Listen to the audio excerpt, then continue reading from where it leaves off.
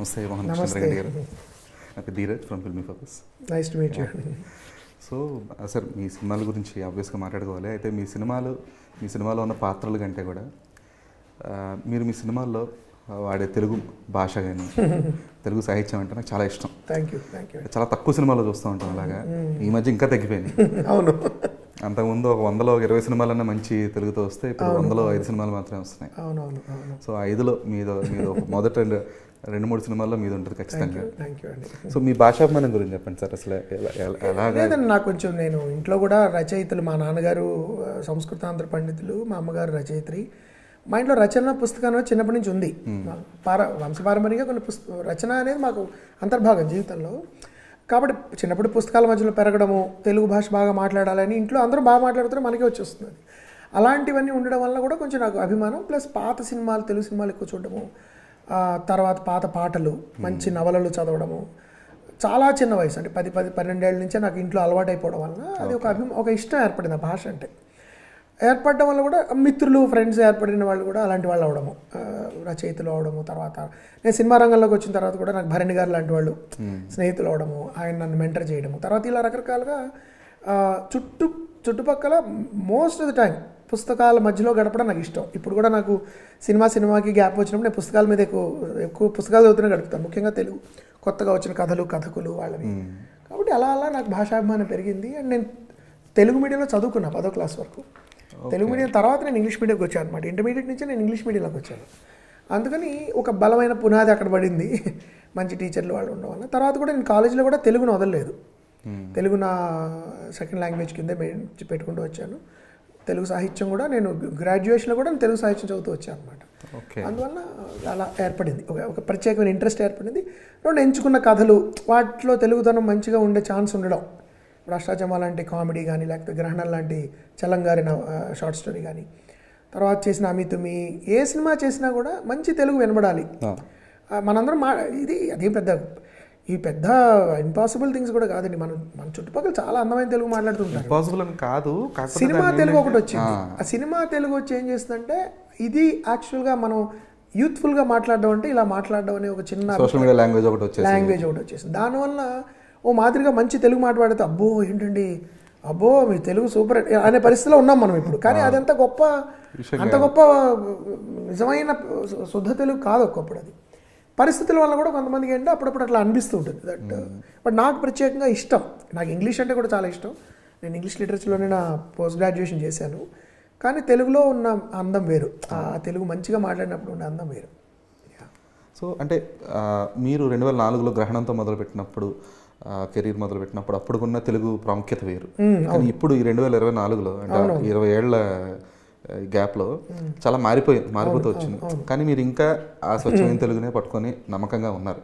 So అది ఎంతవరకు సాధ్యపడింది మీకు? అంటే మీకు ఫిల్మ్ మేకర్స్ దగ్గర నుంచి కానీ అంటే ప్రొడ్యూసర్ గారి దగ్గర నుంచి కానీ లేదంటే ఎవరి నుంచి అన్నా లేదండి ఈ భాష కొంచెం ఈ ప్రజెంట్ జనరేషన్ జెన్జీకి అర్థం కాకపోవచ్చేమో అన్న ఎప్పుడన్నా అదృష్టశాత్తు నన్ను కొంచెం అది ఇష్టపడే నిర్మాతలే నా దగ్గరికి వస్తున్నారండి. రెండు నేను కూడా ఏంటంటే మరీ మడిగట్టు కూర్చున్నట్టు కాకుండా ఇప్పుడు మీరు సారంగపాణి జాతకంలో చాలా జెన్జీ హ్యూమర్ ఉంటుంది. చాలా అంటే నేను కూడా నేర్చుకుంటూ ఉంటాను. ఎలా మాట్లాడుతున్నారు? ఇప్పుడు ఏ టైప్ ఆఫ్ భాష వాడుతున్నారు? ఖచ్చితంగా మీరు అన్నట్టు తెలుగు తగ్గిపోయింది. తెలుగు లేకపోతే వక్రీకరించబడిపోయి మెలికలు తిరిగిపోతుంది ఇష్టం వచ్చినట్టు. చాలామందికి నేను ఇప్పుడు జోక్ వేస్తున్నా అలా పలకట్లేదు ఎవరు. పెళ్ళి అనే మాట పోయింది పెళ్ళే అని. అలా పోయింది అలా పోయింది. కొన్ని అసలు ఆశ్చర్యపోతున్నారు. కొంచెం మనం కరెక్షన్ చెప్పామనుకోండి డబ్బింగ్లో ఈ రోజులు ఎవరు పట్టించుకుంటారు సార్ అనేవాళ్ళు ఉంటారు. కాబట్టి ఏంటంటే నేను కొంత బ్యాలెన్స్ చేయడానికి ట్రై చేస్తూ ఉంటాను అంటే మంచి తెలుగు సారంగ పండి జాతకంలో మీరు చూస్తారు. ఒక కొంచెం అందమైన కన్వెన్షనల్ తెలుగు వినబడుతూ దాంతోపాటు ఒక ఇప్పుడు జనం మాట్లాడుకునే ఫర్ ఎగ్జాంపుల్ టీజర్లో వెన్నెల కిషోర్ డైలాగ్ ఉంది కదా. కుమారి ఆంటీలో ఉండేవాడు jolly జోసులు so what the contemporary audience వాళ్ళు ఎట్లాంటి విషయాలు చర్చించుకుంటూ ఉంటారు? కుర్రవాళ్ళు అందరూ కూడా. అవి కూడా I try to bring in కామెడీకి చాలా ముఖ్యం అండి సమకాలీనత అంటాం మనం. అంటే కాంటెంపరానిటీ అనేది లేకపోతే హ్యూమర్ అసలు పండదు. నేను ఎప్పుడో పాతకాలపు ఎప్పుడుదో కామెడీ తీశాను అనుకోండి ఇప్పుడున్న ప్రజలకి దానికి రియాక్షన్ ఉండదు. సో ఐఎమ్ ట్రై బ్యాలెన్స్ చేయడానికి ప్రయత్నిస్తాను నేను. అంటే నాకు నచ్చిన తెలుగు కొంత ఉంచుతూనే నాకు బాధ కలిగించకుండా నేను కాంప్రమైజ్ అయ్యాను అనిపించకుండా ఉండే జన్సీ చాలామంది కుర్రాళ్ళు కూడా చాలా మంచి తెలుగు మాట్లాడతారండి. బయట వెళ్ళి మనం మనుషులతో మాట్లాడతాం. అవును. అంటే ఊర్లలో వరకు ఫైన్ ఇప్పుడు ఏదైతే మన టార్గెట్ ఆడియన్స్ ఉన్నారో వాళ్ళు ఉన్నప్పుడు అది I'm trying to balance it అనమాట ఒక్కప్పుడు చెప్పడం కూడా వాళ్ళకి హే తెలుగులో ఇలాంటి భలే గమ్మతైన మాటలున్నారు. మీరు కూడా వినండి వాడచ్చు అని చెప్తూనే it's like a negotiation okay ఈ భాష మీది ఇది నాది. ప్రజెంట్ యంగ్ జనరేషన్ ఫిల్మ్ మేకర్స్లో హార్డ్లీ ఇప్పుడు వివేక్ ఆత్రేయ కానీ ఇలాంటి చ- చాలా తక్కువ మంది అవును దర్శకుల Vivek also keeps that thing flavour ఉంటుంది తన సినిమాలో మన మిడిల్ క్లాస్ మెలడీస్ వచ్చింది విత్ వినోదానంద్. వినోద్. అది దానిలో ఫ్లేవర్ ఉంది. తర్వాత మెయిల్ అనే ఫిల్మ్ వచ్చింది ఉదయ్ గురాలది. ఆహా చాలా బాగుంది చాలా బాగుంది ఆ సినిమా. వీటన్నిటిలో కూడా ముఖ్యంగా తెలంగాణ ప్రాంతం నుంచి వచ్చిన సినిమాల్లో కొన్నిట్లో ఆ ఫ్లేవర్ కొంత వాళ్ళు చూపిస్తున్నారు. మీకు మళ్ళీ ఆంధ్ర ప్రాంతం నుంచి వచ్చిన బ్యూటిఫుల్ ఒకటి మీకు మొన్న ఐ థింక్ ఆ సినిమా అనుకుంటా కమిటీ కుర్రాళ్ళు కానీ. తర్వాత అంతకుముందు రాజావారు రాణివారు అన్న సినిమా వచ్చింది అది కానీ. ఆ సినిమాలో మళ్ళీ మీకు బ్రహ్మాండమైన ఆ- గోదావరి యాస. సో మాండలికాలతో వచ్చిన బ్యూటిఫుల్ యాసలో మాట్లాడడం ఇంకా ఉంది మనకి. అవును. అర్బన్ తెలుగు మీరు అన్నది ఏదైతే సిటీ బేస్డ్ తెలుగు ఉందనుకోండి అది కొంచెం ఈ సినిమాతో ఇన్ఫ్లుయెన్స్ అయింది అది. ఇప్పుడు కట్ చేస్తే సీన్ సితార అయింది. ఇవన్నీ ఎక్కడి నుంచి వచ్చే మాటలు? లేకపోతే స్కెచ్ చేశాడు. లేకపోతే లవ్ చేయడం అనేది నాకు తెలిసి సినిమా నుంచి వచ్చింది. లవ్ చేయడం అనేది మనకి ఎప్పుడు తెలుగులో లేదు తర్వాత ఏమన్నా ఫిదా అయిపోయాడు. ఇట్లా మీకు చాలా మాటలు నాకు గుర్తు రావట్లేదు. చాలా మీకు సినిమాల నుంచి డైరెక్ట్గా సుత్తి కొట్టడం అనేది సినిమా నుంచే కదా వచ్చింది అవును. ఎంజాయ్ గారి దగ్గర నుంచి. సో ఆ ఇన్ఫ్లుయెన్స్ వల్ల అర్బన్ తెలుగు మారుతూ ఉంటుంది. అక్కడి నుంచే సుత్తివేలు గారు. సుత్తివేలు గారు వచ్చారు. అసలు సుత్తి కొట్టడం అనేది మన జీవితంలో ఇంటెగ్రల్ పార్ట్ అయిపోయింది ఆ మాట అది. ఆ ఎక్స్ప్రెషన్ అనేది. అలా ఇప్పుడు చాలా సినిమాల్లో మీకు చాలా భయ్యా అనే మాట ఏంటి భయ్యా ఏంటి భయ్యా అనేది సినిమా నుంచి వచ్చిన మాటే.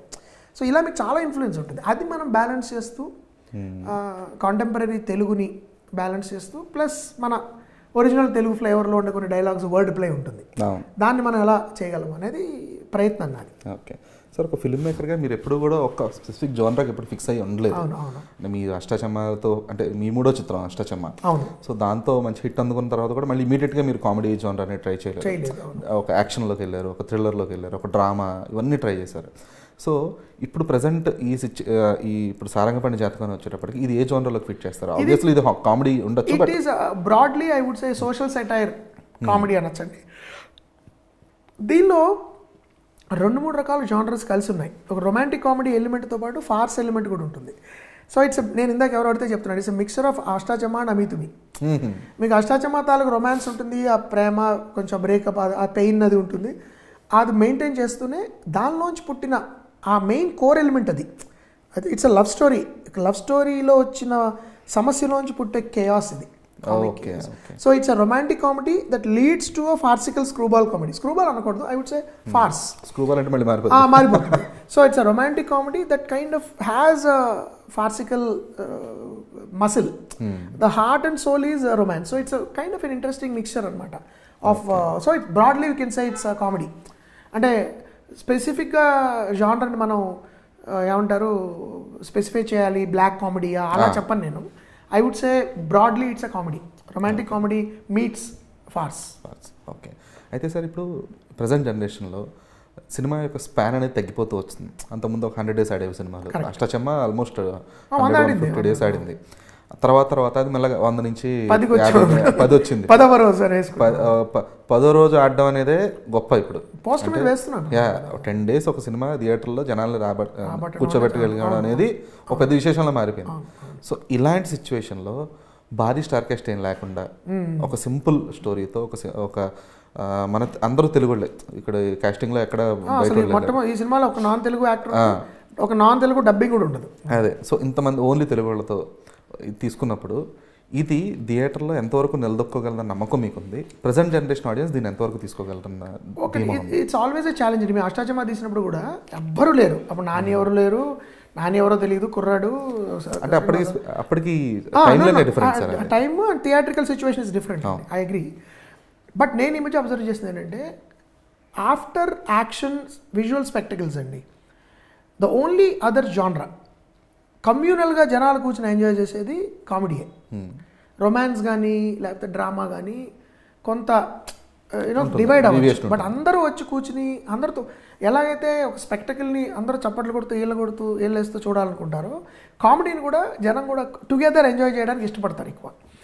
అది అది రూల్ కాదు అది. ఇప్పుడు Amaran cinema is done extremely well right it's not a comedy it's not it's a very sad film actually but it's done very well so it has to A cinema అయినా ఒక emotional connect కనుక ఏర్పడితే ఆడియన్స్ని ఖచ్చితంగా చూస్తారు. ఎప్పుడైనా ఏ- generation చూస్తారు. అయితే ఇప్పుడున్న ఛాలెంజ్ మీ మీ ప్రశ్నకు రావాలంటే ముందర వాళ్ళు తీసుకురావాలి థియేటర్కి to bring them that so you you have to tell them this is a comedy it's a very good comedy so మన దానికి టీజర్ ట్రైలర్ ఇప్పుడు టీజర్ ట్రైలర్ చూస్తే చాలామంది డిసైడ్ చేసుకుంటున్నారు. ఈ సినిమా మనం థియేటర్కి రావాలా వద్దా అని. బట్ థియేట్రికల్గా నేను చూసిన ఎక్స్పీరియన్స్లో నేను మధ్య కొన్ని కామెడీస్ చూసినప్పుడు థియేటర్లో మత్తు వదలరా టూ కానీ సా అంతకుముందు సామాజిక వర్గమన కానీ two three other comedies have seen I could see ఎంత జనాలు they are having a good time so ultimately stressful జీవితంలో ఒక మంచి having a good time has become rarity another complaint నేను విన్నది ఏంటంటే కుటుంబం అంతా కలిసి చూసే సినిమాలు తగ్గుతున్నాయి. మోస్ట్ ఫిల్మ్స్ ఏంటి హీరో బేస్డ్ యాక్షన్ బేస్డ్ సినిమాలు అయ్యి యాక్షన్ బేస్డ్ అనగానే వైలెన్స్ యొక్క ఆ, శాతం పెరిగిపోతూ ఉంటుంది. Depending on the star or the size of the film and they so much of chopping చప్ప చప్ప చంపుకోవడాలు పెరిగిపోయాయి సో జనరల్లీ ఏంటి నేను వింటూ ఉన్నా చుట్టుపక్కల రిలేటివ్స్లో ఫ్రెండ్స్లో కూడా. అందరం కలిసి కూర్చునే ఓటీటీలో కూడా ఉండట్లేదండి. ఓటీటీలో ఇంకో ప్రాబ్లం ఏంటి? సడన్లీ సెక్స్ అండ్ వైలెన్స్ వస్తాయి.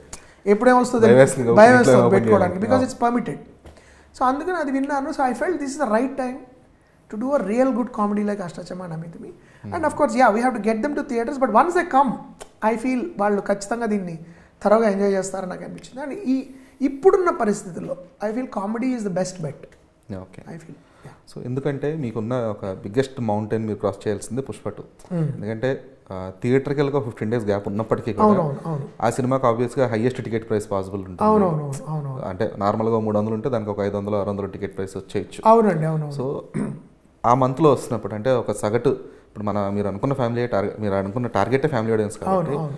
ఆల్రెడీ పుష్ప టూకి ఒక రెండు వేల ఐదు వందలు మూడు వేలు స్పెండ్ చేసిన వాళ్ళు మళ్ళీ సారంగ జాతకానికి వచ్చేటప్పటికి మళ్ళీ అందులో సగం అన్నా ప్రిపేర్ చేసి ఉండాలి.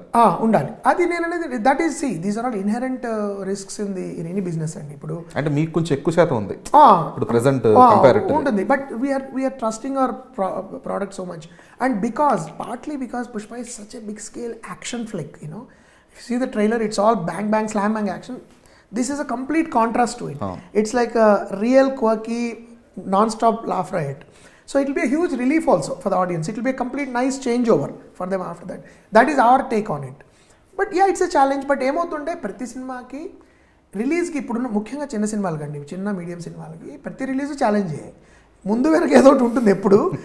బట్ సో అట్లా మనం దీన్ని ప్లేస్మెంట్ చేసి how to get audience theatres అనేది that's a challenge but yeah we're preparing ourselves for that and my only hope is and I believe strongly ఎందుకంటే నేను అట్లా వెళ్తూ ఉంటా. ఒక పెద్ద యాక్షన్ సినిమా చూసిన తర్వాత I feel like going to fun film you know so that's my that's my take on it ఎందుకంటే ఇప్పటికీ కూడా శేఖర్ కమలా చెప్తారు లైక్ శంకర్దాద్ ఎంబీబీఎస్ సినిమా టైంలో నేను ఆనంద్ రిలీజ్ రీజన్ ఏంటంటే నాకు కనీసం ఓవర్ఫ్లోస్ వచ్చినా చాలా నాకు అన్న టైంలో రిలీజ్ చేశారు. And but it did very well along అది. Shankar Dada it did very well అవును. సో కానీ అప్పటికి ప్లస్ పాయింట్ ఏంటి? బుక్ మై షో అనేది లేదు. అది చాలా లేబుల్ అండి. So- ఇప్పుడు అష్టాచమ్మ ఉందనుకోండి సార్ అష్టాచమ్మ టైంలో స్టిల్ తెలుగు ప్రేక్షకులకి cinema is the main. Entertainment OTT లేవు టీవీలో ఎప్పుడో వచ్చేది కదా. మూడు నాలుగు నెలల తర్వాత వచ్చేది టీవీలో. సో థియేటర్కి వెళ్ళిపోవాలి ఫస్ట్ సినిమా అంతే. బాగుందండి. ఇప్పుడు ఓటీటీ కూడా మాక్సిమం ఎంటర్టైన్మెంట్ ఫార్మాట్స్ పెరిగిపోయాయి but I still feel there is that core audience ఇప్పుడు నేను వెళ్తున్నాను సినిమాలకి. అలాగే నేను చూస్తున్నాను. అయితే ఏంటంటే అంతకుముందు కాలక్షేపానికి వెళ్ళి కూర్చున్నాను రా కాసేపు అనే బ్యాచ్ లేరు ఇప్పుడు. అంటే ఇప్పుడు ఏసీలో కూర్చునే వాళ్ళు కూడా ఉండేవాళ్ళు కొంతమంది. సరే లేదు కామెడీ బాగుందట ఒక పది నిమిషాలు. పర్లేదు చూద్దాం. గొప్పగా లేదులే కానీ కామెడీ బాగుందట. పాటలు బాగున్నాయట. అట్లా ఆడిన సినిమాలు ఉన్నాయి కొన్ని. ఫస్ట్ వన్ వీక్ డల్గా ఉండి తర్వాత పికప్ అయిన సినిమాలు ఉన్నాయి. Because people like something else other than the story అంటే వాచ్ ఇట్ ఇప్పుడు అది లేదు. ఇప్పుడు అసలు యావరేజ్ అసలు మీకు మీకు పర్వాలేదంటే రారు అంతే it has to be good and somebody has to tell you ఇది బాగుందండి మీరు చూసారా? అనాలి. పర్వాలేదంటే ఫస్ట్ హాఫ్ బాగుందండి సెకండ్ హాఫ్ కొంచెం అలా ఏమన్నా అంటే మళ్ళీ డౌటే అట్లా అయిపోయింది అనమాట so we have to be ఒక విధంగా అది you have to be on your toes film makers have to be on their toes they have to do good job you have to deliver good content అప్పుడైతేనే audience థియేటర్కి వచ్చే పరిస్థితి ఉంది అనేది కూడా maybe it's a good way of alerting the film makers ఎందుకంటే ఇదే స్థాయి కంటెంట్తో ఇదే స్థాయి రూట రూటెడ్ స్టోరీస్ చిన్న హీరోలతో Malayalam industry is doing very good extremely well. Love today అనే cinema it did extremely well actually so నేనేమంటానంటే it's about positioning I believe that anything these days has to be marketed marketing అంటే తప్పు marketing చేయమని కాదు జనాలకు తెలియాలి ఇది ఉంది దీనిలో ఇది ఉంది. ఈ ఇది మేము ఆఫర్ చేస్తున్నాము. లైక్ ఎనీ ప్రోడక్ట్ ఇది మేము ఆఫర్ చేస్తున్నాము ఇది మీరు ఖచ్చితంగా నమ్మి రావచ్చు. అని వాళ్ళని కన్విన్స్ చెబితే ఈ రోజుల్లో నేను ఒక గంట సేపు ప్రయాణం చేసి వచ్చి ఇంత పెట్రోల్ ఖర్చు పెట్టి నలుగురు వస్తే పదిహేను వందలు అయ్యి తర్వాత మళ్ళీ వెనక్కి వెళ్ళాలి. సో ఒక ఐదు టు ఆరు గంటలు నా జీవితంలో నా టైము ఇంత డబ్బు నేను ఖర్చు పెట్టి వస్తున్నానంటే నేను అట్లీస్ట్ ప్యాకెట్ మంచి సినిమా నేను ప్యాక్ చేసి ఇంటికి తీసుకెళ్ళాను కదా. ఆ అనుభూతినే తీసుకెళ్ళగలను. అట్లీస్ట్ నాకు థియేటర్ నుంచి ఇంటికి వెళ్ళే వరకు ఒక పది సన్నివేశాలన్నా ఐదారు సన్నివేశాలన్నా గుర్తుండిపోతే it is not worth going to theatre I don't blame them actually ఎందుకంటే అల్టిమేట్లీ దట్స్ వై మన సినిమాలకి ఎందుకు వెళ్తాం? ఒక జీవితానుభవం కోసం వెళ్తాం. ఒక రస ఈ మాటలన్నీ క్లాసికల్గా అనిపించవచ్చు కానీ ఇంగ్లీష్లో చెప్తే బాగుంటుంది. తెలుగు రసాస్వాదన అంటాం. ఎంజాయ్మెంట్ అంతే కదా. You want enjoy movie you want to remember something you want carry that film home ఇప్పుడు నేను చూసిన బెస్ట్ ఫిల్మ్స్ అని అంతే. చిన్న చిన్న జోకులు కూడా మనకి పది రోజుల తర్వాత కూడా గుర్తొచ్చిన వస్తుంది అవును. అది నాకు కోరుకున్నప్పుడు ఆబ్వియస్లీ నేను ఇంత శ్రమపడి వస్తున్నప్పుడు నాకు గుడ్ క్వాలిటీ సినిమా ఇవ్వు అని అడుగుతున్నాడు ప్రేక్షకుడు. అంతే కదా? So it's our job to do it పర్ఫెక్ట్గా మనం అన్నిసార్లు సక్సెస్ఫుల్ అవుతామా అనే చాలా పెద్ద పెద్ద వాళ్ళు కూడా ఫాల్టర్ అవుతారు. But that is the point I think we should latch on to and say let's deliver a good film and make true promise to the audience don't give them false promises ఎందుకంటే ప్రేక్షకులు సినిమాను ఆస్వాదించే విధానం కూడా మారిపోతూ వచ్చింది. అది అదొకటి కూడా చాలా మారిందండి. ఈవెన్ ఇప్పుడు ఫర్ ఎగ్జాంపుల్ ఏమో ఏదో సినిమాకి వెళ్ళాను. సినిమా స్టార్ట్ అయిన పది నిమిషాలకి ఇలా ఒక రెండు వందల ఫోన్లు లేచాయి అనమాట ఇట్లా. ఎవ్రీబడి. షూటింగ్ ద స్క్రీన్ ఇప్పుడు అర్జెంట్ సినిమా చూడడంలో ఉన్న ఇప్పుడు వ్యూయింగ్లో ఉన్న ఇంటగ్రల్ పార్ట్ ఏంటంటే ఇది నేను చూస్తున్నానని అర్జెంట్గా లక్ష మంది చెప్పాలి మీరు. ఎన్టీఆర్ ఇంట్రడక్షన్ దేవరాలో ఇది నేను షూట్ చేస్తున్నాను. ఇది వెంటనే రీల్ వెళ్ళిపోతుంది ఎక్కడికో. లేకపోతే కల్కిలో ఇంకో ఇంట్రడక్షన్ లేకపోతే ఇంకోటి ఇంట్రడక్షన్ ఇది అర్జెంటుగా నేను సోషల్ మీడియాలో షేర్ చేయాలి. షేర్ చేసి అక్కడి నుంచి ఏదో రియాక్షన్ వస్తుంది. మళ్ళీ దీనికి రెస్పాండ్ ఇదంతా part of the viewing it's not like watching the film and enjoying the the the moments or whatever ఈ మొమెంట్ నేను ఎంజాయ్ చేస్తున్నాను రోయ్ అని చెప్పి మీరు వంద మందికి చెప్పాలి అర్జెంటుగా సో దానివల్ల ఏంటంటే వ్యూయింగ్ ప్రాక్టీస్ మారిపోయింది. దానివల్ల ఎస్థెటిక్స్ ఎలా ఎఫెక్ట్ అవుతాయంటే ఇప్పుడు డిస్కషన్స్ ఎలా ఉంటాయి ఎడిటింగ్ రూమ్లో సార్ వాళ్ళు జేబులోంచి ఫోన్ తీయకూడదు సార్. మీరు ఏం చేస్తారో నాకు తెలియదు అంటాడు. ఎడిటర్ ఏంటి? మామూలుగా ఫీల్ ఉన్న సీన్ కూడా చెప్ప చెప్ప కట్ చేయాల్సి వస్తుంది. కంగారు. ఏంటంటే ఏమన్నా కొంచెం ఫీల్ ఉంటే వాడు ఫోన్ తీస్తాడా? లేకపోతే ఏమన్నా మెసేజ్ చెక్ చేసుకుంటాడా? ఇన్స్టా చూసుకుంటాడా? సో ఇట్ ఈస్ రివర్స్లో it is effecting film making aesthetic. So ఇవన్నిటిని అధిగమించుకుంటూ రావడం అనేది మీరు అన్నట్టు absolutely challenge but you to keep trying this no other way and వీటన్నిటి కొంచెం అధిగమించగలిగే genre comedy. Because comedy is making you laugh and నవ్వినప్పుడు ఆ రిపుల్స్ కొంతకాలం ట్రావెల్ అవుతాయి థియేటర్లో. So at least it keep the attention holding I feel అయితే ఈ మధ్య అంటే ఈ మధ్యనే కాదు ఇట్స్ మీన్ దేర్స్ సెన్స్లో వెరీ లాంగ్ టైం అయితే అంతకుముందు ఒక సినిమా ఒక క్యారెక్టర్ ఎస్టాబ్లిష్మెంట్కి time తీసుకుంటేనేమో audience used to stick to the film ఒక క్యారెక్టర్ ఎస్టాబ్లిష్మెంట్ అయి ఉండొచ్చు లేదంటే అమితుమి తీసుకుంటే కూడా. అమితుమిలో పని మనిషి character ఎస్టాబ్లిష్మెంట్కి it was very fun to watch Vennela Kishore character వచ్చేటప్పటికి కానీ పని మనిషి క్యారెక్టర్ ఎస్టాబ్లిష్మెంట్స్ అనేవి people used to enjoy the timing the timing yeah ఒక ఫిఫ్టీన్ ట్వంటీ మినిట్స్ ఒక క్యారెక్టర్ని ఎస్టాబ్లిష్ చేస్తున్నారంటే కనుక people used to follow that journey ఇప్పుడు అది లేదు. ఇప్పుడు తగ్గిపోయింది. ఇప్పుడు టకాటక్ హీరో ఆన్ స్క్రీన్ వచ్చాడా ఫైట్ చేశాడా. హీరోయిన్ లవ్ చేసాడు వెళ్ళిపోయాడు? అంతేగాని ఇప్పుడు హీరో ఇప్పుడు హీరో వచ్చి ఒక half an hour heroine number తిరగాలి. అతను ఎవరు? అతని జీవితం లిటిల్ హార్ట్స్. ప్యాకెట్ ఇవ్వాలి సైకిల్ ఇవన్నీ ఇప్పుడు చూడలే attention spans తగ్గిపోయాయండి I think basically what happen is after for example reels చూడండి మీరు. Thirty seconds one minute. మీరు మొదలెడితే మీరు ఒకసారి నేను ఒక ఎక్స్పెరిమెంట్ కింద చూశాను కాసేపు. ఒక గంట గంటన్నర అయిపోయింది. Before I knew one hour and ఇంకోటి ఏంటి రకరకాల టైప్స్ ఆఫ్ ఎంటర్టైన్మెంట్ కదా ఇది. పిల్లుల మీద పిల్లుల మీద. ఒకటి ఉంటుంది జంతువుల మీద ఒకటి ఉంటుంది ఏదో హాలీవుడ్ మీద ఒకటి ఉంటుంది జోక్స్ ఉంటాయి. So it's like enormous multi cuisine రెస్టారెంట్కి వెళ్ళినట్టు అది.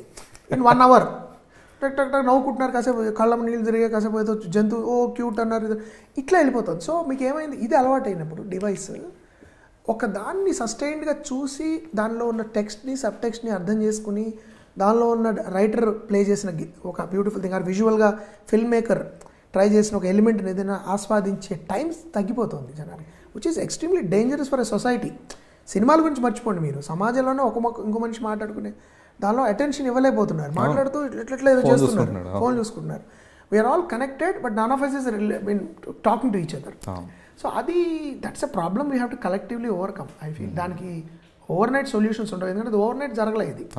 And this I find is a post Covid phenomenon కోవిడ్లో ఏమైందంటే రెండేళ్ళు విపరీతంగా సోషల్ మీడియాకి ఎడిక్ట్ అయ్యారు జనం. అది కంటిన్యూ. అయిపోతుంది. అది కంటిన్యూ అది మారే వరకు వేరే ఆస్పెక్ట్స్ సినిమా నా దృష్టిలో చిన్నది. చాలా పెద్ద ఇష్యూస్ వస్తున్నాయి. పిల్లలు are having lot of health problems psychological problems health even issues. Relationships issues వస్తున్నాయి. People are not able sustain relationships so ఇవన్నీ కూడా మనం we have to keep them in mind at a larger level but cinema లెవెల్లోకి వచ్చేటప్పటికి how to దీన్ని ఎలా మనం overcome చేయాలనేది ఇప్పుడున్న ఫిల్మ్ మేకర్స్కి నా దృష్టిలో ఛాలెంజ్ పెద్ద పెద్ద ఛాలెంజ్ సార్ అయితే so coming back to the film so ఇప్పుడు ప్రజెంట్ సిచ్యువేషన్లో ఒక సినిమా మేకింగ్లో ప్రొడ్యూసర్ అనేవాడు ఆల్మోస్ట్ ఒక ఏటీఎం మిషన్లో మారిపోయిన సిచ్యువేషన్ ఉంది ఇప్పుడు. అంటే ఆ, ఆ సెట్ ఆ రోజు కాస్ట్ ప్రొడక్షన్గా ఎంత అవుతుంది అనేది మాత్రం లెక్కలు చూపించి మాత్రం వెళ్ళిపోయే సిచ్యువేషన్ కానీ ఇప్పుడున్న ఫిల్మ్ మేకర్స్తో పోల్చుకుంటే శివలం కృష్ణ ప్రసాద్ గారు ఈజ్ అ డిఫరెంట్ జోన్ ఆయన. ఎందుకంటే ఆయన Aditya three sixty nine time నుంచి ఆయన చూసుకుంటూ వస్తున్నారు కాబట్టి ఆయన ఇన్వాల్వ్మెంట్ ఎంతవరకు ఉంటుంది? లైక్ మీ ఇద్దరి జర్నీ అలాగా? అన్ఫార్చునేట్లీ ఆయన ఓల్డ్ ఓల్డ్ స్కూల్ అని అనాలి కానీ actually the right school right school అవును. బేసికలీ కృష్ణప్రసాద్ గారు అప్రోచ్ వెరీ సింపుల్ అండి. ముందర స్క్రిప్ట్ ఆయన చదువుతానంటారు నేను చేస్తా. I think that's how it should be with any producer I feel ఆయన చదివేసిన తర్వాత అని. షుడ్ అంటే ఇలా ఉండాలి ఉండట్లా ఇప్పుడు. ఆయన పద్ధతి. ఏ ప్రొడ్యూసర్ అయినా అలా ఉండాలి. చదివిన తర్వాత ఆయనకి ఏమైనా అనిపించింది చెప్తారు. ఇట్లా ఇట్లా ఇక్కడ ఏదైనా ఇది డిస్కస్ చేసేస్తాం. లాక్ లాక్ చేసిన తర్వాత ఇంకా అసలు ఆయన ఆయన పనులు ఆయన పడిపోతారు. సినిమా చేసేటప్పుడు కూడా చాలా తక్కువ అప్పుడప్పుడు వస్తారు కబుర్లు చెప్తారు కాఫీ తాగుతారు వాడెవర్ నేను ఆయనతో నేను మోస్ట్ ప్రొడ్యూసర్స్ నాకున్న ఒప్పందం ఏంటంటే ఫైనల్ కట్ మీరు చూడండి. నేను చేసే ఫైనల్ కట్. రఫ్ కట్లు మీరు రష్కి ఎక్కువ రావద్దు. ఎందుకంటే ఫైనల్ కట్కి మీరు వచ్చినప్పుడు మీ మీరు ఫ్రెష్గా ఉంటారు. నేను బాగా అటాచ్ అయిపోయి ఉంటాను. ఎంతో కొంత ఎడిటర్ కూడా అటాచ్ అయి ఉంటాడు మెటీరియల్కి. సో మాకు కొన్ని ఇష్టాలు ఏర్పడిపోతాయి. ఇది బాగుంది ఇది చాలా బాగుంది ఇది వదులుకోలేక.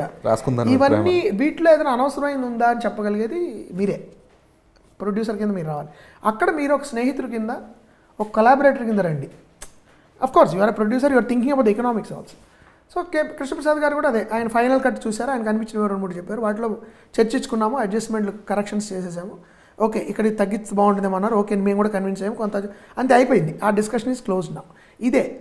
సో ఒకసారి స్టోరీలో స్టోరీ వినడం స్క్రీన్ ప్లే చదివి లాక్ చేసుకోవడం తర్వాత ఆయన ప్రొడక్షన్ పనిలో ఆయన పడ్డాము అంతే. ఫైనల్ కట్ సమ్ టైమ్స్ నాకు ఉత్సాహం అనిపిస్తే రష్ చూపిస్తాను. రండి చూడండి అంట. Depends on the trust with the producer ఆ బాగుంది బాగాలేదు వాట్ ఎవర్ డిస్కషన్ జరుగుతుంది. ఫైనల్ కట్ చూసారు మోహన్ ఇది అయిపో- అయిపోయింది అవుట్ అయిపోయింది. ఇంకా నీ పనిలో నువ్వు పడిపో. టీజర్ సార్ ఇది టీజర్. ఆ బాగుంది. టైరల్. ఓకే ఇది అలా ఉంటుంది తప్ప ఇంకా సతాయింపు సెట్లోకి వచ్చి కూర్చుని ఇట్లా చేయి అట్లా చేయి మానిటర్ పక్కన కూర్చుని అది చేయి అవి ఉండవు ఆయన దగ్గర.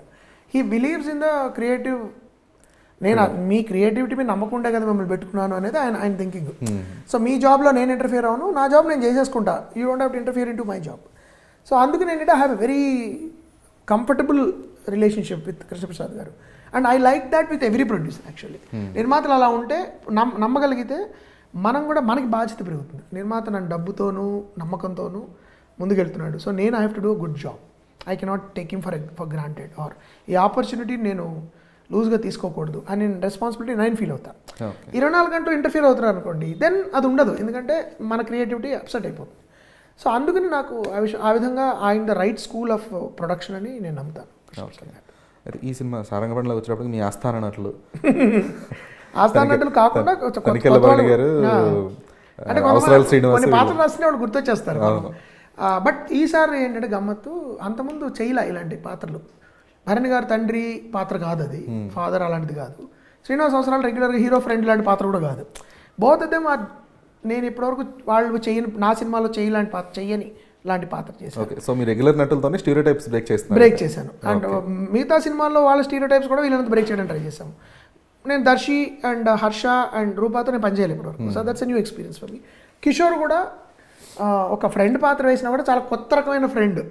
పాత్ర ఉంటుంది వీళ్ళు సో అందరూ వేరుగా వేరువేరుగా వాళ్ళు ఎప్పుడు చేయని పాత్రలు ఆ, చేయడము. అండ్ అఫ్ కోర్స్ నాకున్న కంఫర్ట్ లెవెల్ ఆస్థాన అన్నట్టు ఎక్కువ కమ్యూనికేషన్ అవసరం లేదు. టక్మని వాళ్ళకి తెలిసిపోతుంది.